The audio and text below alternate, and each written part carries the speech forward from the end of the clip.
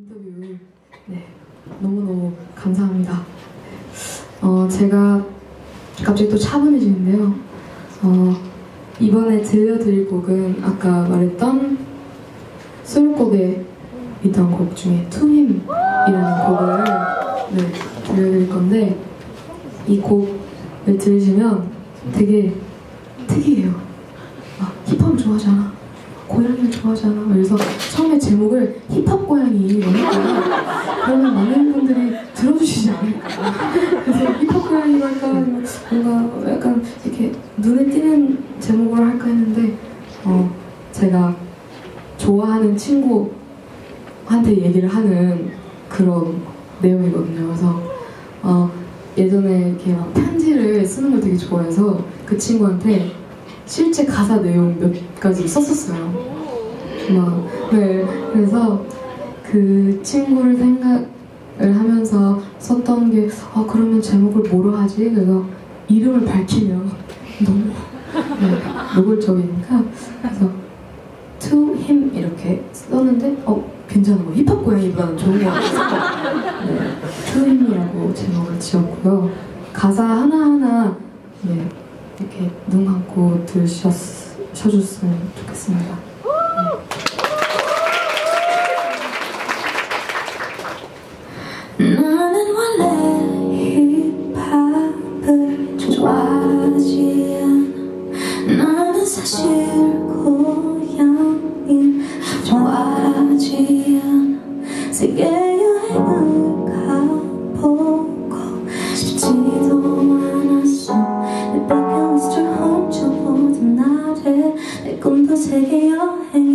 upon my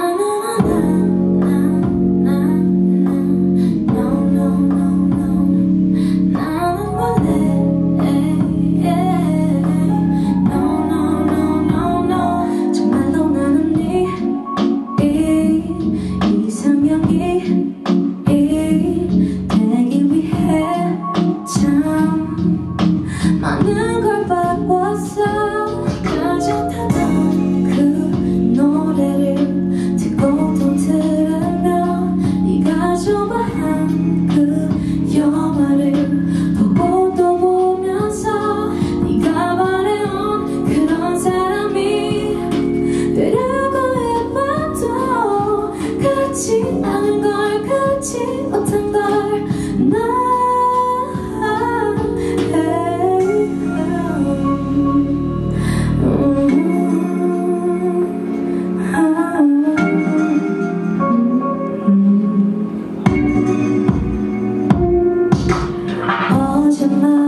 그녀는 힙합도 좋아하고 고양이도 좋아